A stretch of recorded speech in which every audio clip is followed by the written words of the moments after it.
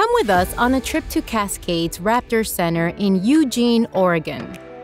Through wildlife rehabilitation and public education, the Cascades Raptor Center fosters a connection between people and birds of prey.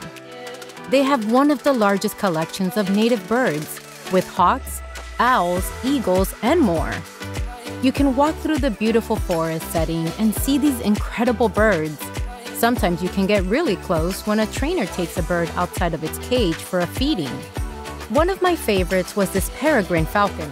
They each have a unique personality, and when you fall in love with one, you can sponsor that bird. Before you leave, be sure to grab some cool souvenirs, measure your wingspan, and pose for a photo. We had an amazing time, and so will you.